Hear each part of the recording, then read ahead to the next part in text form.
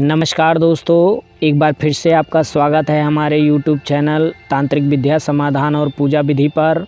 दोस्तों, आज मैं आपको मंगल ग्रह के मंत्र के बारे में कुछ बातें बताऊँगा कि दोस्तों, इस मंत्र को यदि आप अपने दैनिक जीवन में इस्तेमाल करेंगे या इसका जाप करेंगे तो आपको क्या प्रभाव पड़ेगा और दोस्तों, इससे आपको क्या लाभ मिलेगा।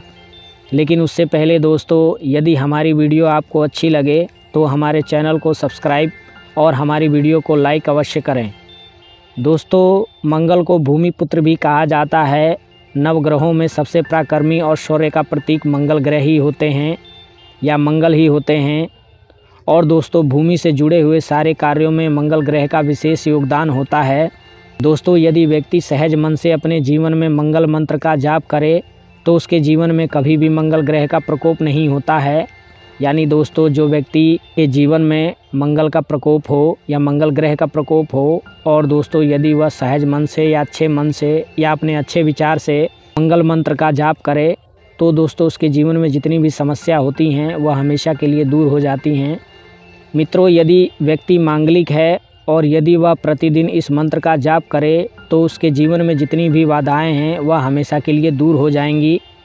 यानी वह कभी भी उसके नज़दीक नहीं आएँगी। दोस्तों, इस मंत्र का जाप आप किसी भी मंगलवार से हनुमान मंदिर या किसी एकांत स्थान पर कर सकते हैं। दोस्तों, इस मंत्र का जाप करने के लिए सबसे पहले आप स्वच्छ होकर बताए हुए स्थान पर 108 दाने वाली रुद्राक्ष की माला लेकर के चले जाएँ। अब दोस्तों, वहाँ पहुँचने के बाद में अपना मुख पूर्व दिशा की तरफ़ करके या हनुमान जी के सामने करके नीचे ज़मीन पर बैठ जाएँ। यानी दोस्तों, आप मंदिर में जाएँ तो हनुमान जी की मूर्ति के सामने ही मुख करके बैठें। अब मित्रों, हमारे द्वारा बताए गए मंत्र को रुद्राक्ष की माला से लगातार 11 माला जाप करें। दोस्तों, यह प्रक्रिया आपको लगातार 21 दिन करना है। दोस्तों, जैसे ही इक्कीस हज़ार मंत्र जाप पूरा होगा, आपके जीवन में मंगल ग्रह का प्रकोप अवश्य कम हो जाएगा। मंत्र। दोस्तों, मंत्र निम्न प्रकार है। इसे आप आसानी से याद कर सकते हैं। कोई बहुत बड़ा मंत्र नहीं है। ओम क्राम क्रीम क्रोम सह भूमाय नमः। ओम क्राम क्रीम क्रोम सह भूमाय नमः।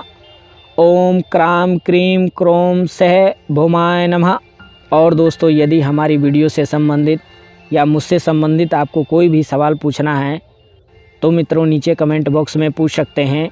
नमस्कार।